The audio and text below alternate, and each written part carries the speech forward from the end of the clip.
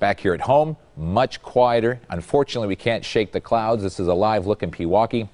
The cloud cover is still there, but it's still 70 degrees and a southeast winds at around 10 to 12 miles per hour.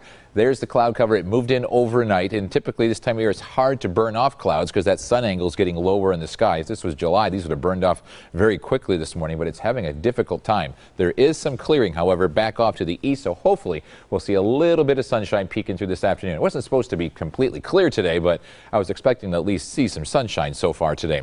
Rain off to the west, that does not get here until about this time tomorrow. It's going to take its sweet time getting here, and then when it pushes through, it'll be very brief. Tomorrow is not a washout by any means. 63 in South Milwaukee with that southeast breeze, also in Shorewood, 70 in Tosa, as well as West Allis. And you go to Waukesha County, where temperatures right now pretty much 70 degrees except for Brookfield at 71 in this afternoon.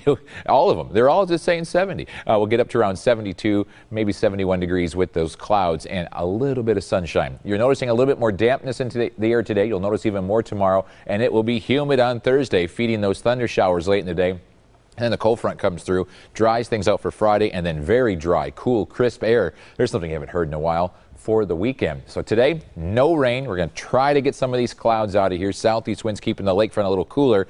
Midday tomorrow, not much rain, but there is a chance that some of those showers will still hold together and push on through. Then clearing in the afternoon. Then it's Thursday morning. We'll see our first round of heavy rain and then more Thursday afternoon and into the evening. Tomorrow's rain, less than a tenth of an inch, just enough to get the pavement wet, and then we'll pick up and go back to that. Then as we get further into this storm system, say Thursday, Thursday night into Friday morning, we could pick up almost an inch of rain across the area. This has nothing to do uh, with Hurricane Matthew. This is just the next storm system rolling on through. More rain for us. Highs tomorrow into the low to mid 70s. Here's your seven day forecast.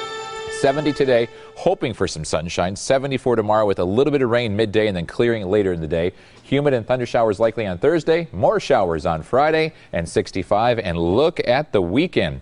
May have to dust off the sweatshirts. It's been a while. Mm, sweater weather, buddy. There